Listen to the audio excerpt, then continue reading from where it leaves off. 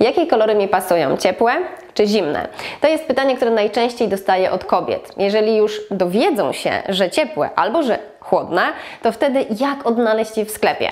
I to jest właśnie temat dzisiejszego wideo poradnika. Zapraszam.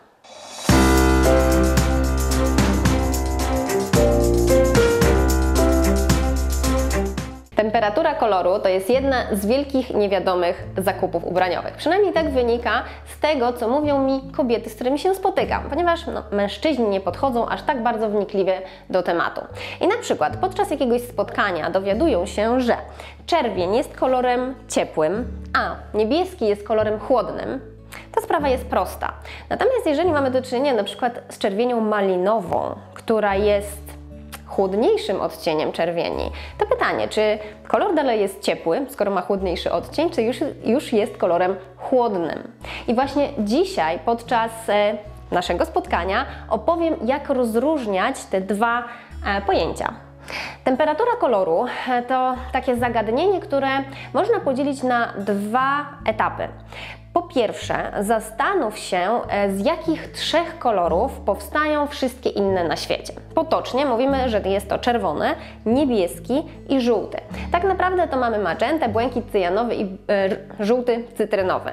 E, i z tych wszystkich trzech kolorów powstaje cała reszta kolorów na świecie. Oczywiście z dodatkiem kolorów achromatycznych czy barw achromatycznych, czyli bieli i czerni.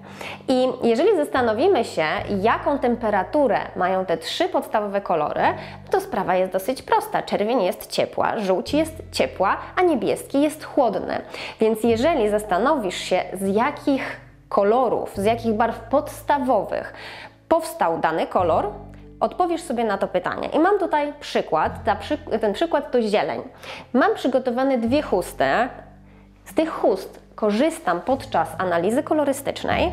E, dwie zielenie. Mam nadzieję, że dobrze widzisz, to jest zieleń, pomimo tego, że ta zieleń to już jest taka troszeczkę żółtawa, natomiast ta zieleń jest taka bardziej typowa.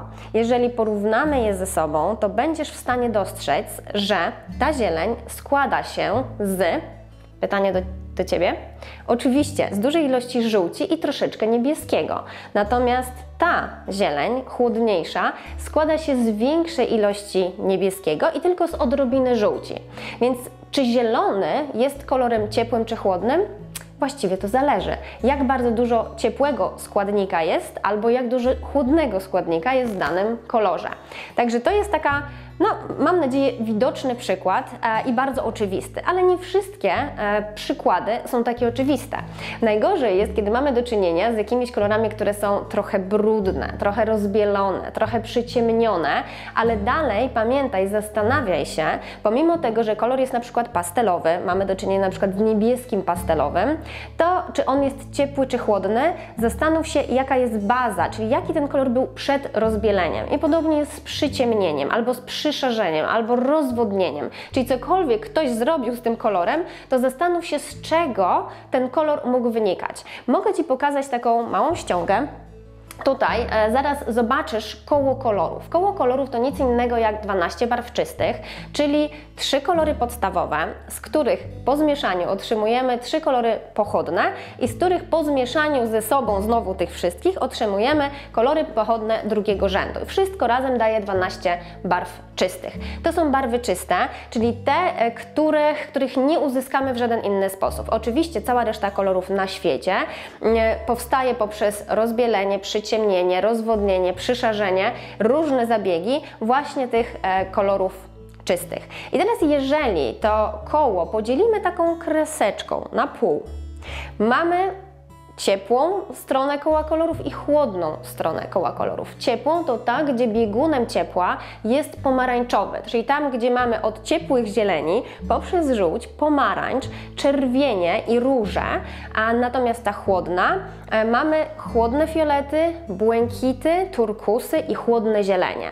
I teraz, jeżeli miałabym powiedzieć, co jest najważniejsze, jeżeli chodzi o określanie temperatury koloru, to właśnie ta przynależność do jednej bądź drugiej strony koła kolorów. Czyli jeżeli popatrzysz sobie e, na to koło kolorów, możesz sobie ściągnąć obrazek na telefon e, i posiłkować się nim po prostu w sklepie.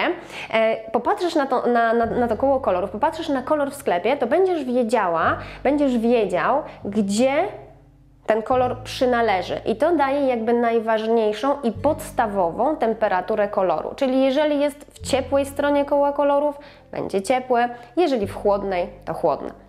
Problem pojawia się wtedy, kiedy bardzo często słyszymy, że mamy do czynienia na przykład ze sweterkiem w kolorze chłodnej żółci. No i co wtedy? Tak zwany klops się pojawia, ponieważ no przecież przed chwilą ona powiedziała, że żółty jest ciepły, bo leży e, w ciepłej stronie koła kolorów.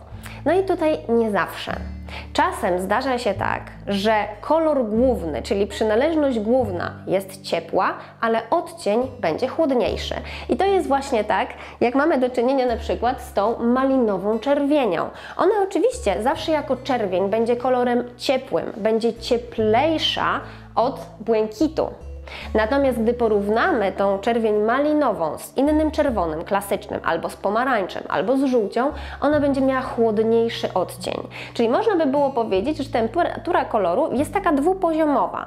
Po pierwsze, to do czego przynależy ten kolor? Do ciepłych kolorów, czyli do tej części koła kolorów, czy do chłodnych kolorów, czy tej do tej drugiej części koła kolorów, a drugie to jest odcień. I tak samo będzie z błękitem. Oczywiście każdy błękit jest chłodnym kolorem, ale może mieć cieplejszy odcień i to na przykład będą różnego rodzaju turkusy. Podobnie jest z fioletem, podobnie jest z różem, podobnie z każdym innym kolorem. Jeżeli weźmiemy taki na przykład limonkowy żółty, czyli delikatnie zazieleniały, to powiemy, że on jest troszeczkę chłodniejszym żółtym, bo ma w sobie od odrobinę niebieskiego. Czyli żółty plus trochę niebieskiego daje nam taki odcień żółci limonkowej, czyli ta żółć jest chłodniejsza. Ale czy to jest chłodny kolor? Nie, on dalej będzie ciepły. On dalej będzie cieplejszy od każdego innego błękitu. Także podsumowując, pamiętaj o tym, że temperatura kolorów jest zawsze dwupoziomowa. Mamy przynależność do koła kolorów i mamy jeszcze odcień, który może różnić temperaturę. Czyli możemy mieć chłodny odcień ciepłego koloru, możemy mieć ciepły odcień ciepłego koloru, możemy mieć chłodny przepraszam, ciepły odcień chłodnego koloru i chłodny odcień chłodnego koloru, tak? Czyli mogą się albo one zgadzać, albo mogą być rozbieżne. Jak to sprawdzać? Pamiętaj, koło kolorów jest podstawą w tym aspekcie. I oczywiście, e, gdy kolor jest nieewidentny, kiedy troszeczkę odbiega od tego, co nazywamy kolorami czystymi, pamiętaj, żeby zawsze posiłkować się tym, że kolory powstają z trzech podstawowych. Jeżeli będziesz wiedzieć, jaką mieszankę stanowi, czy więcej tam jest żółci z czerwienią, czyli czegoś ciepłego, czy więcej jest niebieskiego, czyli czegoś chłodnego, to taką właśnie temperaturę ma dany kolor. Mam nadzieję, że to pomoże Ci przyporządkować e, dany kolor do e, temperatury. Jeżeli jeszcze nie wiesz, czy temperatura koloru jest szalenie istotna dla Ciebie w Twojej urodzie? E, zastanów się, jak możesz to sprawdzić. Oczywiście możesz zrobić to zupełnie sama, możesz zrobić sobie sama taką mini analizę kolorystyczną w domu i w oparciu o pamięć zewnętrzną, czyli na przykład książkę Ubierz się w kolor, gdzie opisane jest 12 typów urody, albo w oparciu o moje inne wideo na temat e, kolorystyki na tym kanale YouTube, do którego oczywiście zapraszam Cię, jeżeli jeszcze mnie nie subskrybujesz, to zrób to natychmiast, e, albo możesz po prostu pójść na łatwiznę i zrobić sobie analizę kolorystyczną. Albo stacjonarnie e, z kolorystką, albo online, bo taka opcja też jest możliwa. Jeżeli interesuje Cię taka opcja analizy kolorystycznej online przeprowadzonej przez internet, bo może oglądasz mnie z San Francisco na przykład, wejdź na stronę www.analizakolorystycznaonline.pl i tam dowiesz się, jak to zrobić. Na dzisiaj dziękuję i do zobaczenia w następnym wideo.